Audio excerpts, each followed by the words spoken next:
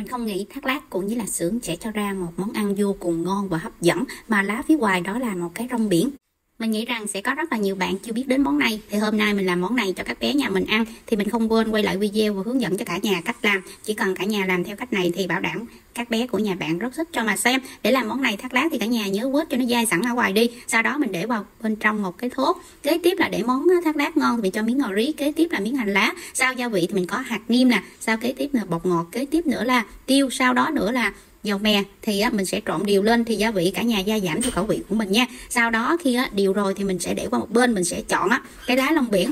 Rong biển thì cả nhà chọn lá lông biển nào cũng được. Thì nhớ là cái bề mặt láng quay ra ngoài còn bề mặt nhám quay vô trong nha. Sau đó mình sẽ tiếp tục mình để từng á, miếng cá thác lát lên trên á cái rong biển. Sau nữa mình sẽ tráng đều lên trên phần cái lông biển.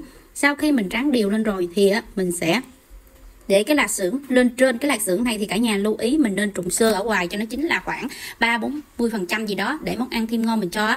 Cà rốt mình sẽ dùng tay, mình sẽ cuốn, mình cũng sẽ cuốn nhẹ thôi, đừng cuốn chặt quá nếu mình cuốn chặt quá thì khi hấp á, thì cái lá long biển nó sẽ bị nứt ra. Mình cuốn xong rồi á, thì mình sẽ để qua bên trong một cái sửng hấp. Mà cái sửng hấp này là nước đang sôi nha cả nhà. Sau đó nữa là mình đậy nắp lại mình đun cho đến khi á, 10 phút thì mình sẽ mở nắp ra. Thì lúc này á, cái thác lát của mình đã chín rồi mình đem ra để nguội và xong đó mình sẽ cắt ra. Cả nhà có thể cắt theo xéo hình tròn hình nào cũng được tùy theo sở thích của cả nhà. Sau khi cắt xong á, thì mình sẽ sắp lên một cái dĩa thì nước chấm này cả nhà có thể pha tương ớt, nước tương và cho thêm miếng chanh vào nhan vì cái vị chua chua cay cay á, ngọt ngọt á sẽ thích hợp với cái món chấm này. Vậy là video đến đây kết thúc rồi. Rất mong rằng cả nhà sẽ hài lòng với video này. Hẹn gặp cả nhà ở video tiếp theo.